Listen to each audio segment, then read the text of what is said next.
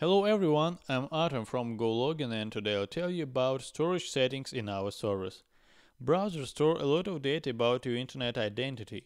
Such data is browser history, recently closed and saved tabs, browser settings, cookies, extensions, and local storage and IndexedDB data.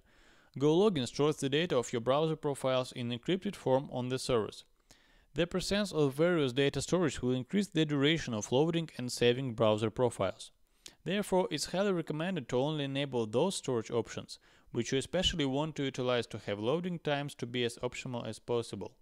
But how to do that? First, you need to go to a Profile Settings, then to Advanced tab, and scroll to Storage Options. Here it is. Currently, GoLogin supports local storage, IndexedDB and extension storage. Despite the fact that local storage and IndexedDB are slightly different things, both storage are designed for local storage of data about you. They can be used to track users and collect information about your activity. GoLogin has the ability to enable local storage and IndexedDB synchronization in browser profiles. It's recommended that local storage and IndexedDB is enabled to preserve the consistency of data that websites may place. If this option is left disabled, websites will see that such storage are empty upon each consecutive browser launch. This is suspicious.